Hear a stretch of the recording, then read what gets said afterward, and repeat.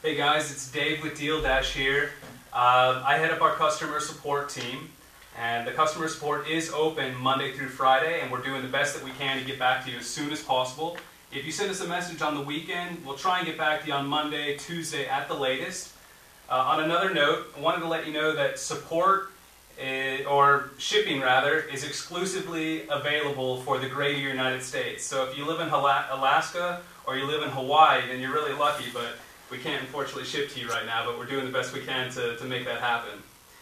Um, anyways, I hope you guys win some amazing deals here. Uh, good luck to you. Thank you.